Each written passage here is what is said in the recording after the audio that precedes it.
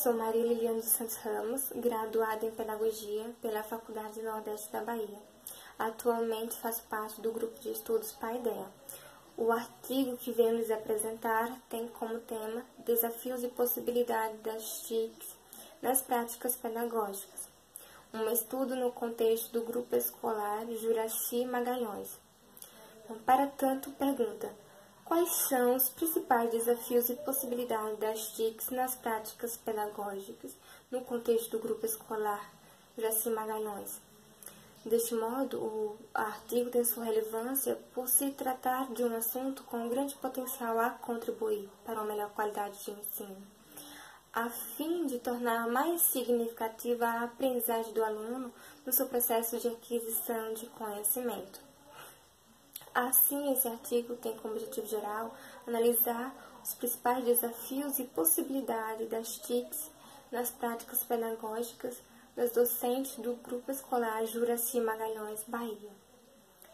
A metodologia utilizada foi o estudo de caso, onde eu apliquei um questionário e fiz, foi feita uma observação. Bom, a pesquisa foi realizada no Grupo Escolar Juraci Magalhães, instituição pública de ensino fundamental 1, localizada na cidade de Coranjoçá, estado da Bahia.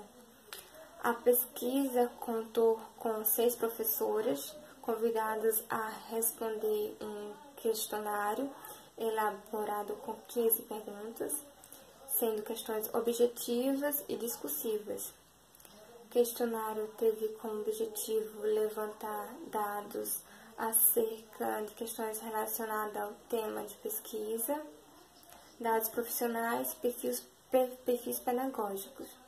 Junto ao questionário foi feita uma observação na escola para poder, poder estar complementando com o questionário. A pesquisa, o resultado da pesquisa aqui exposto se deu a partir de apresentação das respostas relativas ao questionário aplicado e da observação feita na escola. Nessa pesquisa, procurou-se analisar os principais desafios e possibilidades das TICs nas práticas pedagógicas das docentes no Grupo Escolar Juraci Magalhães, Bahia. Dessa forma, conhecemos um pouco da realidade por meio do questionário aplicado e da observação realizada na escola. Assim, mediante o resultado da pesquisa, ficou evidenciado que as TICs estão presentes no ambiente escolar, porém de uma maneira parcial, pois as professoras utilizam para, em situação pedagógica para mediar o processo de ensino e aprendizagem, mas não têm acesso ao laboratório de informática devido à falta de internet, fundamental para as aulas mais interativas no tocante ao aspecto físico da escola, foi perspectiva a ausência de equipamentos, falta de estrutura, de manutenção das mesmas, que resultam em consequências negativas, não permitindo utilizar as TICs de forma efetiva nas atividades.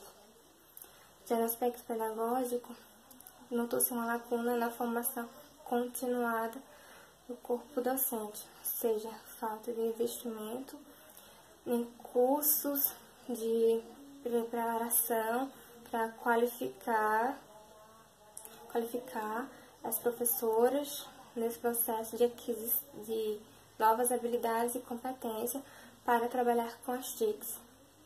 No depoimento foi constatado que somente duas professoras tiveram na formação inicial a oportunidade de estudarem essa temática, enquanto a maioria nem se recordava a existência de alguma disciplina que tratasse das TICs no contexto educacional.